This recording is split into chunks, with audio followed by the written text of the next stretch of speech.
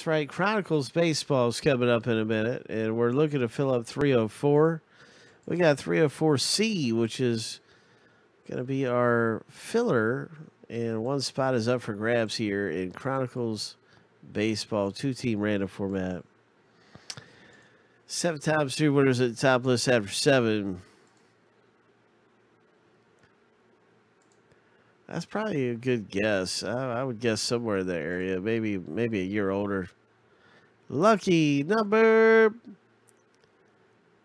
seven. Uh, Brian, congratulations winning your spot in Chronicles 304. So we got three. Uh, we've got A, B, and C winners. A, B, and C winners. And uh, so right now we're down to nine spots left. In Chronicles, Brian just won his spot. Uh, Terry, you're picking up some more base cards, and so is Brian. Three more base cards for you guys. To if you didn't, if you know the other nine spots accumulate base cards.